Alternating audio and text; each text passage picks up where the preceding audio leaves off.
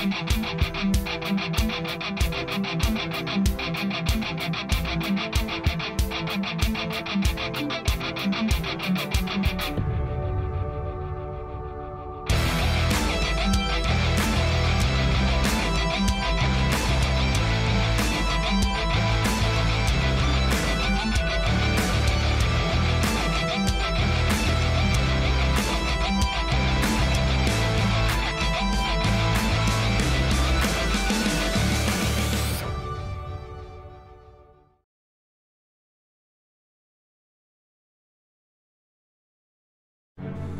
El cambio climático ya está aquí.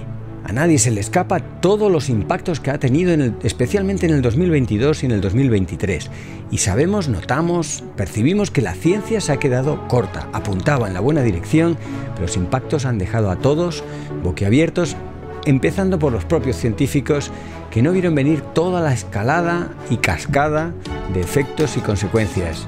El cambio climático es muy complejo y por ello contamos y necesitamos de una herramienta como la inteligencia artificial para que aborde con todo el detalle esa complejidad tremenda que tiene el cambio climático.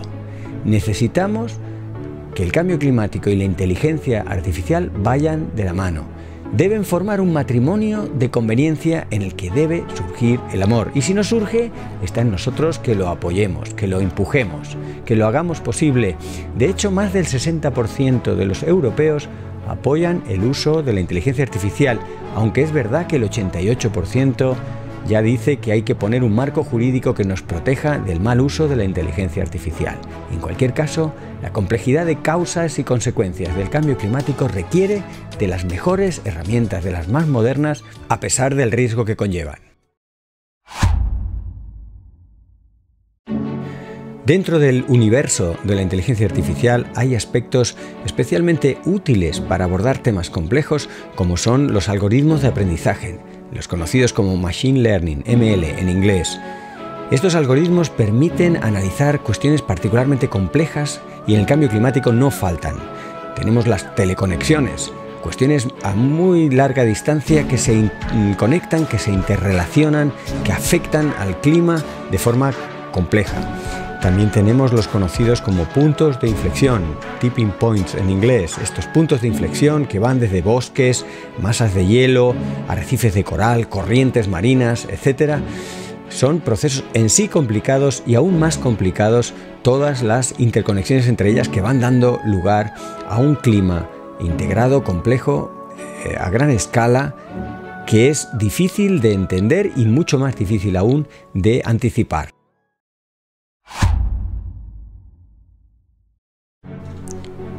De hecho, hay todo un campo denominado inteligencia climática que precisamente permite anticipar y prospectar estrategias y tomar decisiones disruptivas y actuar.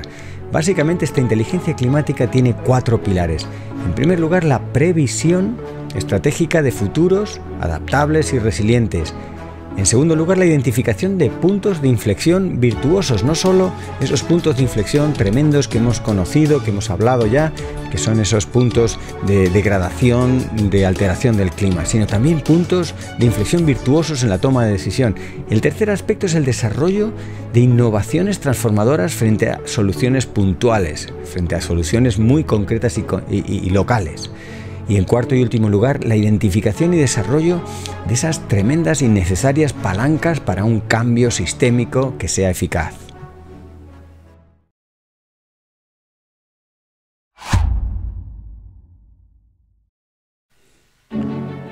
¿Tenemos alguna evidencia de que la inteligencia artificial eh, está funcionando o podría funcionar en el estudio y en eh, el avance del cambio climático? Pues sí, tenemos algunas evidencias. Por ejemplo, en el 2022, la detección y el estudio de los huracanes sufrió un gran avance gracias precisamente a la inteligencia artificial. Fue un auténtico campo de experimentación. Por ejemplo, el huracán Lee fue estudiado con detalle, analizado mediante técnicas de inteligencia artificial y los resultados fueron espectaculares, fueron mucho mejores de los que se habían conseguido hasta la fecha con otras herramientas con modelizaciones más estándares. De hecho, algunos eh, científicos como Marc de María, un, científico atmosférico asociado al Centro Nacional de Huracanes de Estados Unidos, pasó de ser un escéptico a un creyente. El huracán Lee se convirtió en un laboratorio mm, vivo y activo sobre la detección y el estudio eh, del cambio climático, los impactos del cambio climático mediante herramientas de inteligencia artificial. Es verdad que todavía quedan cosas para mejorar. Sabemos que hay fuertes limitaciones eh, a la hora de estimar la cantidad de agua que está implicada en estos eventos de tormentas tropicales. También hay ciertas eh, eh, limitaciones a la hora de estimar la ubicación geográfica y aspectos complejos como la velocidad y el desarrollo, pero se está avanzando a gran velocidad. Los progresos son muy alentadores.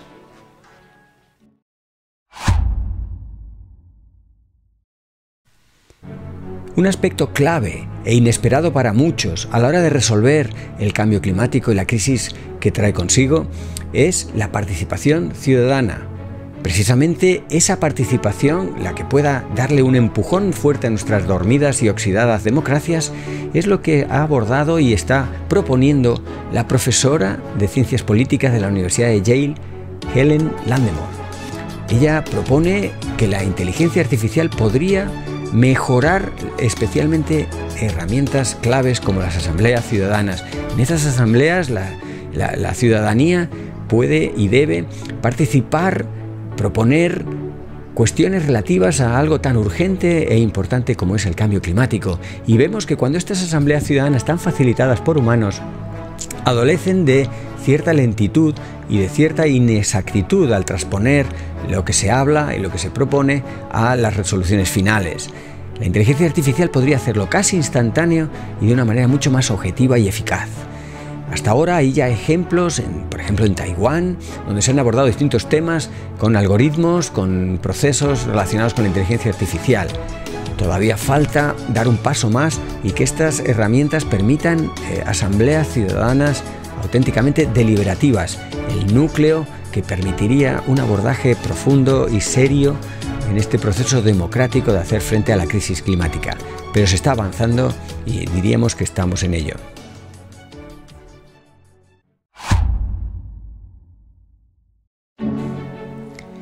El sistema alimentario es clave. Necesitamos comida, pero también necesitamos un sistema global que sea saludable para todos. Precisamente y de forma muy paradójica, producimos comida en exceso, esto nos envenena y es además causante de las grandes hambrunas.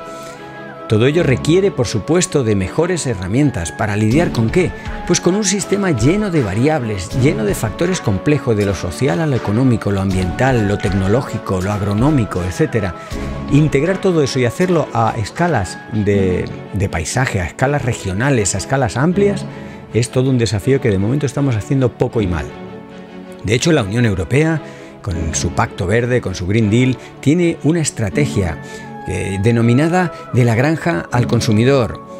Y esta estrategia requiere de mejores herramientas porque se está quedando cortas en sus ambiciosas y muy necesarias propuestas. La inteligencia artificial puede venir al rescate de este sector, de esta visión holística de algo clave como es la alimentación, que tiene un tremendo impacto en el cambio climático. No olvidemos que el sector alimentario es responsable en general de hasta la cuarta parte de las emisiones de gases de efecto invernadero. Por supuesto los agroquímicos nos envenenan, por supuesto se emplea una gran cantidad de espacio para generar comida que vamos a tirar con una tremenda ineficiencia que nos empobrece a todos, que consume agua, que consume espacio, que consume recursos, tiempo, mano de obra, etc. En un mundo en el que no nos sobra precisamente todo esto, en el que tenemos una tierra que cuidar y cultivar, eh, la inteligencia artificial puede permitirnos establecer prioridades e integrar cosas que suelen ir cada una por su lado. Otra cosa es que le hagamos caso.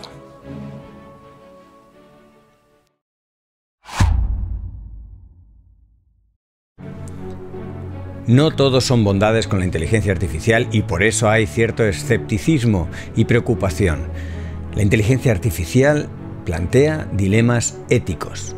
Está siendo utilizada con gran eficiencia para confundirnos, para confundir con pseudoverdades, pseudociencias, bulos, etc. Algoritmos muy potentes que enmascaran la realidad eh, de forma intencionada eh, financiada para confundirnos y que requiere de una mirada mucho más crítica de quienes estamos expuestos a la información, pero también eh, una, reflexión ética más profunda de quienes puedan estar utilizando estas herramientas.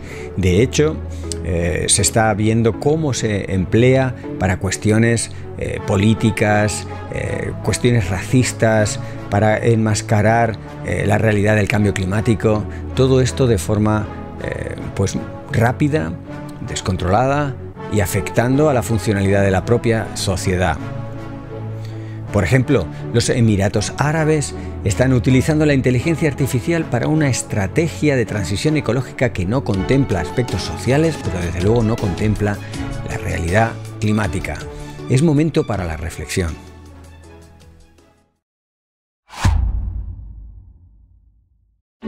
La inteligencia artificial, con todo lo potente que es, tiene también una gran huella ambiental.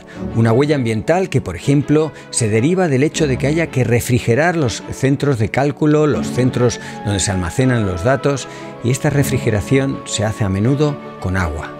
El agua es barata, parece muy abundante, pero ya sabemos que un tercio de la humanidad no tiene agua suficiente y estamos dedicando cantidades ingentes de agua para refrigerar los centros que almacenan datos y los centros que calculan con algoritmos lo que necesitamos y todo lo que llamamos inteligencia artificial.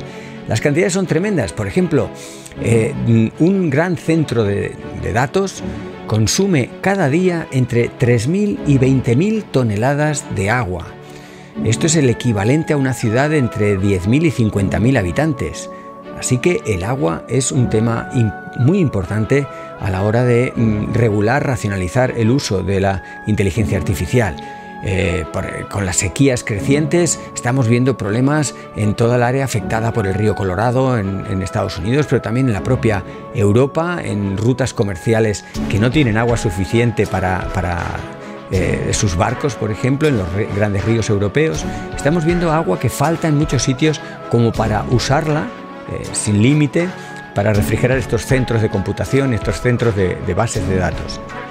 Bien, de hecho, las, eh, autoridades británicas con la sequía del 2023 eh, tuvieron que tomar medidas excepcionales y la entidad Aguas del Támesis tuvo que restringir el uso de agua por los grandes centros que almacenan datos durante la sequía tan tremenda que se sufrió en el verano del 2023.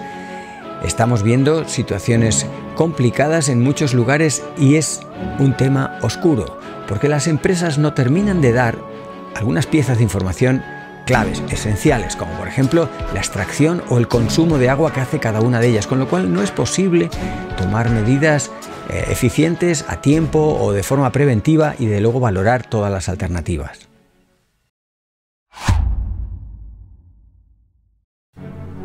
La refrigeración puede hacerse por agua o bien empleando energía, pero precisamente la energía es un gran problema de la inteligencia artificial. La inteligencia artificial a nivel global consume una tremenda cantidad de energía y sabemos que esa, eh, energía que se consume tiene una huella ambiental en forma de gases de efecto invernadero.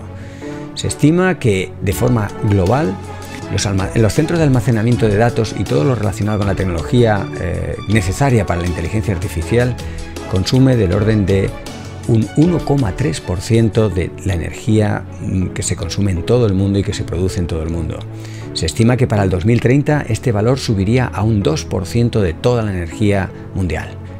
Con esta energía que consumen, se calcula que los valores de emisiones de gases de efecto invernadero están entre un 2,5 y un 3,7% de todas las emisiones globales, superando a sectores tradicionalmente observados y criticados y analizados como el de la aviación.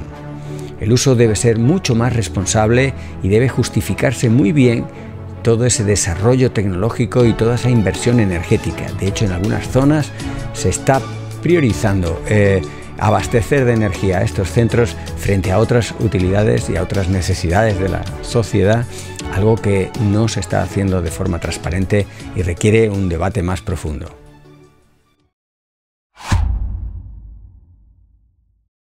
La inteligencia artificial y el cambio climático requieren la mejor versión de nuestro modelo de civilización, como analiza el politólogo y empresario estadounidense Ian Bremer, las crisis tienen el poder de sacar lo mejor de las personas, pero tenemos que querer, tenemos que apuntar hacia, ahí. Necesitamos una visión positiva, líderes que nos apunten hacia todo lo que podemos poner en marcha y somos capaces y necesitamos poner en marcha en un futuro próximo. Pasamos demasiado tiempo, tanto los líderes como la ciudadanía, viendo lo que no podemos hacer, pensando lo que otros no van a hacer, cerrando puertas antes de ver lo que hay al otro lado. Todo esto debe cambiar. Tenemos que cambiar esa, idea de competencia por una idea de cooperación y colaboración. Para la inteligencia artificial es clave que colaboremos. No podemos ponernos unos zancadillas a otros o utilizar una herramienta tan potente para desmontar lo que otros construyan.